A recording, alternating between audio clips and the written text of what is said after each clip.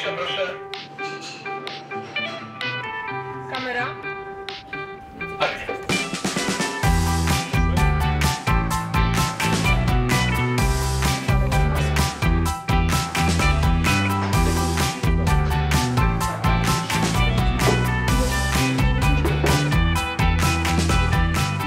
Przyjechałem pierwszego dnia na plan serialu.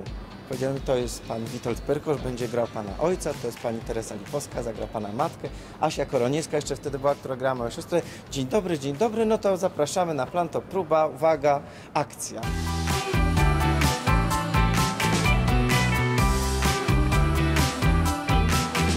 Ten serial nie opowiada tylko i wyłącznie o bogatych ludziach, którzy odnoszą tylko i wyłącznie sukcesy, ale to jest też serial e, o porażkach, o niepowodzeniach, o zawodach miłosnych. Basia, Madzia, możemy? Dobra, czekamy jeszcze na Piotra tylko.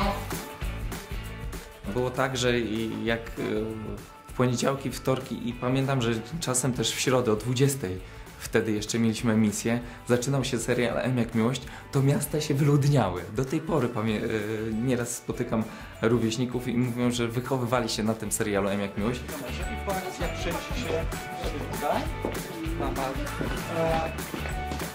Ten serial daje obraz integracji rodziny, która w tej sytuacji naszej obecnej rzeczywistości jest bardzo rzadka.